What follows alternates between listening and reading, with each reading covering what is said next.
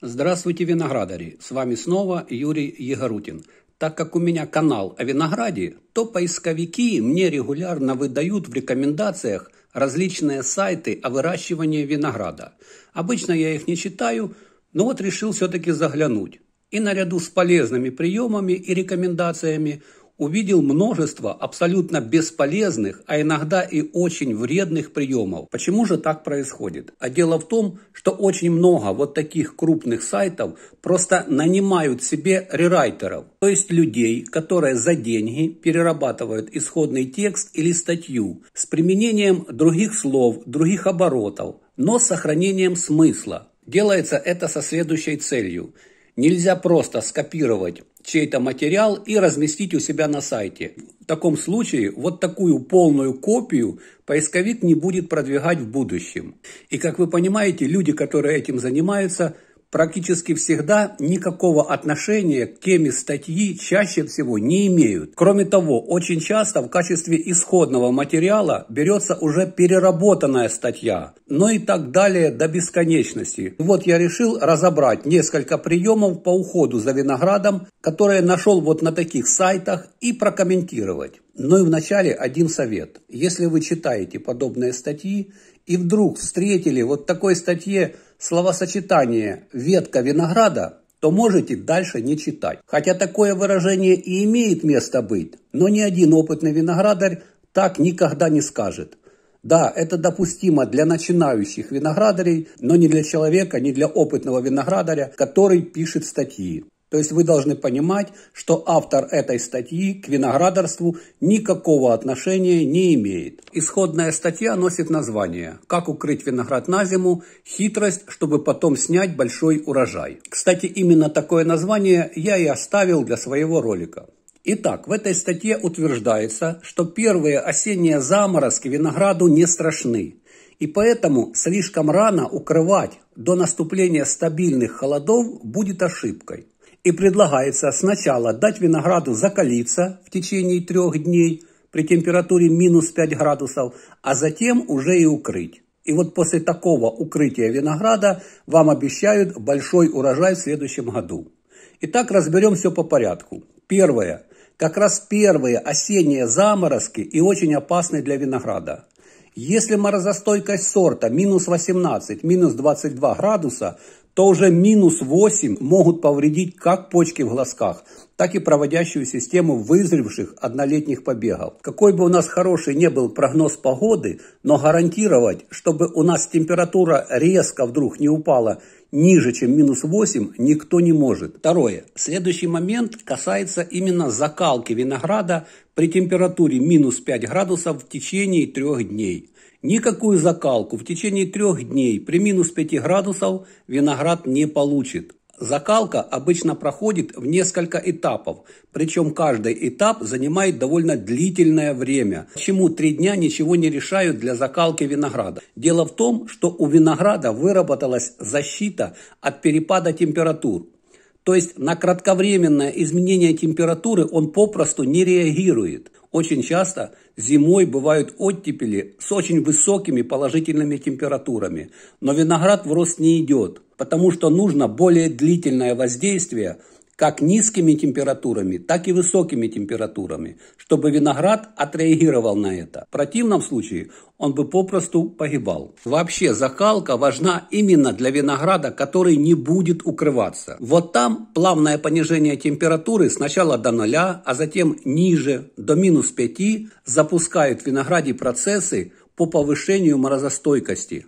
И это и есть закалка. И чем плавнее и длительнее вот эти периоды привыкания винограда, тем лучше. Вообще в природе идеальные условия для закалки очень редкие. Ну а теперь давайте перейдем к укрывному винограду. Ведь в статье речь идет именно о таком винограде.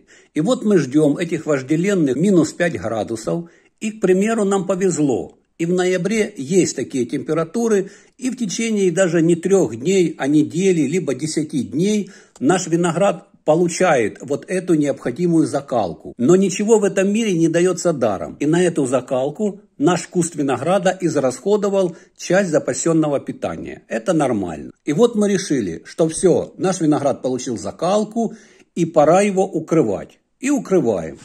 Но закалка – процесс обратимый. После укрытия мы поместили нашу уже закаленную лозу в комфортные условия. И вот ту приобретенную закалку, вот те свойства противостоять низким температурам, наш виноград попросту теряет и приспосабливается уже к температурам под укрытием. При этом снова, чтобы приспособиться уже к более высоким температурам, он расходует часть запасенного питания. То есть мы вернулись на исходную позицию. У нашего винограда нет закалки, но у нашего винограда уже и нет части питания. То есть вот такие своеобразные качели винограду не нужны. И самое главное во всем этом, что если у нас легкое укрытие, то кто сказал, что закалка не идет под укрытием? Идет точно так же, но без резких колебаний температуры, а значит более экономно. Наше укрытие сглаживает все перепады температур, и в случае, если было очень резкое понижение температуры, например, до минус 8, минус 10 и ниже, то наше укрытие спасает наш виноград от вымерзания. При этом и под укрытием наш виноград получает закалку. И поэтому нет никакой необходимости ждать вот той температуры, чтобы наш виноград получил закалку. Укрываем и отдыхаем до весны. Ну и еще, если укрытие винограда проводится обычной почвой, то в минус 5 долбать эту почву так вообще не стоит. Поэтому не нужно ждать, когда температура стабильно опустится ниже 0 градусов, а затем производить героические усилия по укрытию нашего винограда на зиму. Вот такие советы можно встретить на некоторых сайтах. Самое главное, что в большинстве своем люди, которые пишут вот такие статьи, к виноградарству не имеют никакого отношения. Да, есть авторские сайты, авторские сайты виноградарей. Вот там вы можете посмотреть, почитать и получить информацию, как говорят, из первых рук. А вообще, что касается укрытия винограда на зиму, то для каждого региона существуют свои сроки укрытия, которые практически всегда не зависят от температуры окружающей среды. Например, я свой виноград укрываю, начиная с 25 октября по 5 ноября, независимо от того, какая будет температура. И даже в моем случае, чем теплее будет, тем лучше. Все-таки работать на винограднике при плюсовой температуре гораздо комфортнее, чем при отрицательных температурах. И, кстати, на моей памяти было два холодных ноября, когда буквально с самого начала ноября Температура падала до минус 20 и держалась в течение 20 дней. Представьте, что если бы я дожидался вот той температуры минус 5 градусов для закалки винограда,